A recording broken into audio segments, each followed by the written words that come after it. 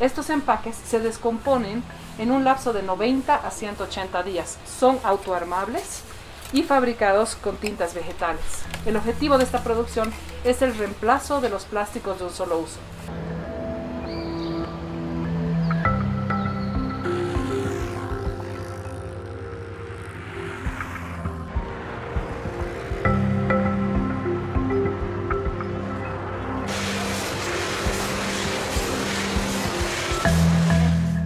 Compostabilidad, el proceso de compostaje y la marca.